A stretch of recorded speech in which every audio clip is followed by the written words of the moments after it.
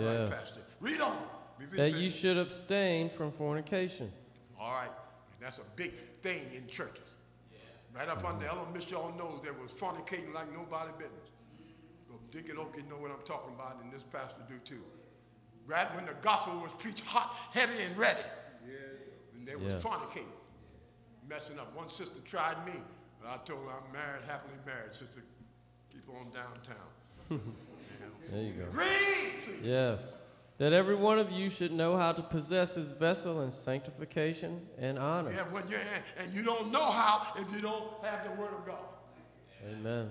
Amen. Let the word of Christ, Mitchell left the third chapter of Colossians, let the word of Christ dwell in you richly. Richly, Not yes. poorly, richly. That's it. Read some more, please. Mm-hmm. Not in the lust of concupiscence, even yeah, at, that's e- an uncontrolled. Some people have an uncontrolled lust. Concupiscence, uncontrolled lust. They want every woman they see. Being married too. Whoremongers. Got to be careful, sisters, to deal with whores and whoremongers in the church.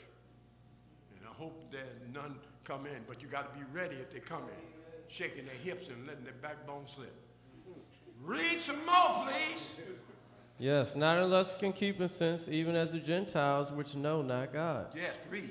That no man go beyond and defraud his brother in any matter. Yeah, that, that, that gets in the church, taking one another to court.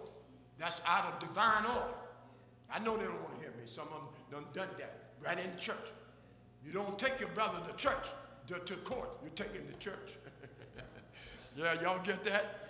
Yes. Take your burden to the Lord. If you trust and never doubt, he'll surely Bring you Oh, out. talk to me. Y'all getting sleepy, but I'm wide awake. Woo!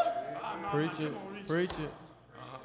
Because that the Lord is the avenger of all such. Yeah, vengeance is mine. 12th chapter Romans. He said, Deacon Kirby, he said, I'll repay. Yes. Amen. Don't worry about your enemies. Let them worry about you. And you love them. Read. As we also have forewarned you and testified. Uh-huh. Yes. Read. For God hath not called us to un- unto uncleanness, Uncleanliness. But unto what? holiness. A holiness. Follow peace with all men. Holiness without precious one. No man shall see the Lord. Yeah, this gospel will wake you up. Yeah. Shake you up. It's a shake up, wake up. You have awake, awake, awake to righteousness. Amen. Amend your ways. But you got you can't be sleeping and amend your ways. Yes. You, you got to be awoke with this. This gospel. Amen. Because your flesh, your flesh, you can leave right out of here tonight, and your flesh will tell you. they know if you really heard the word of God tonight, this morning. You know.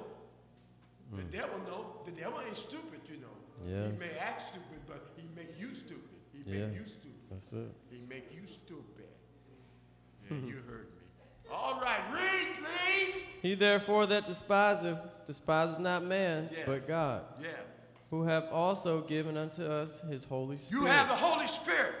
Acts 5 32. Repeat this after me. The Holy Spirit the Holy Spirit is given is given to to them them that obey God. that obey God. You got it? Let me Yes. say it. You say, I got it. I got it. Oh, yeah. You woke. You woke. You woke. All right. Come on. Read some more. We got three more verses. Read. But as touching brotherly love, Yeah.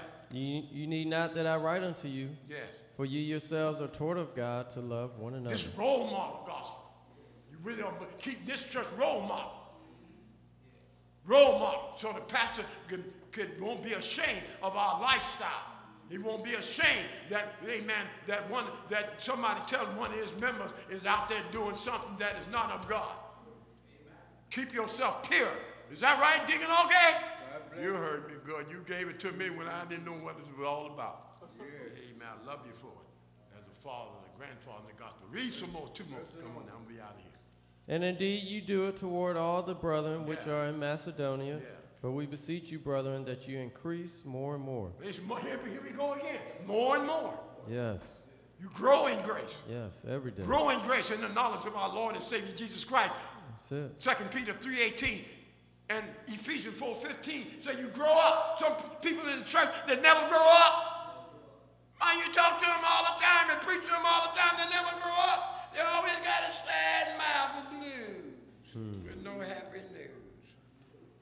life. All right, read on. And that you study to be quiet, Study, not to be nutty. You study to be quiet. Some people run their mouth all the time. Amen. They run their mouth all the time and they ain't saying nothing. I work with a man on the job and they named him Radio. he, he talked all the time and then a lot of time he didn't know what he was talking about. And they used to tell him, Radio, shut up. Shut up. Just yakety yakety. And you hmm. women, sometimes you got to be careful.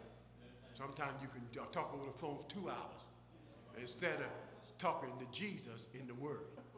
Amen. Brother can do it. I'm just telling you now, sister. Don't get mad with me. that gossip can get away. It's not the gossip, it's the gospel. Yeah. Don't get it mixed up. Can the sister say amen?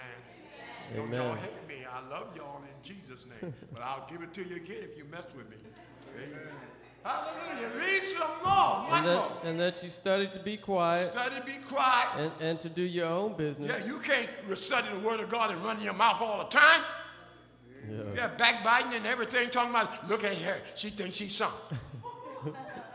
look at him. He all dressed up. He must have got a new job. Yeah, mind your business. I told somebody, mind their business. And one All pastor told me, you know, he know the pastor. I told, he said, did you tell somebody to mind their business? I said, I sure did. Because you, you, you getting too deep. You don't need to worry about some, who somebody going to marry. If they in love and, this, and, and the pastor has given them counsel about the word of God and everything, you just mind your business. You take care of your own husband. Amen. Take care of your own wife. And pray for the new couples. And if they come to ask you any uh, for advice, you know how to handle it. Read Yeah. one more. Read. And to work with your own hands Yeah, as we commanded you, Yeah, get a job. Read. that you may walk honestly towards Honestly, them honestly, to them, towards them, read, that are without, that are without. Read. and that you may have lack of nothing. Thank you so much. Thank you. Yes. This, these are pre-instructional guidelines. Amen. Amen. Holy guidelines before the rapture comes. I close, as I told them today in Sunday school, there's four events. And which one are you going? I'm going to be ready for the rapture. There's the rapture, which is the coming of the Lord. Number two is the day of the Lord. That's the seven years of tribulation. And God knows you're talking about you catching a little hell now. You don't want to be there when the Antichrist reigning for seven years. That's the day of the Lord. God bless you. And then number three is in that day. All this is through the Testament. The pastor can help you with it in Isaiah, and I'll be back and make share some more with you. In that day, that's a thousand years millennium, where the devil will be bound for a thousand years. God gonna let you see, let the people see during that period how nasty you can be without the devil. People are talking about the devil made me do it. No, the devil will be bound. And God gonna let you and I see, let the people who gonna live during that day, how nasty and ugly and sinful and low down and abominable that you can be without the devil messing with you. And then that's number three. Number four, after the thousand years of millennium, all these are scripture, then eternity will begin. And I want to be ready. He's coming again. He's coming again, and it won't be very long. My blessed Savior coming back again. He's coming again. He's coming again. You don't have to work with that next time. All right. Thank you pray for me.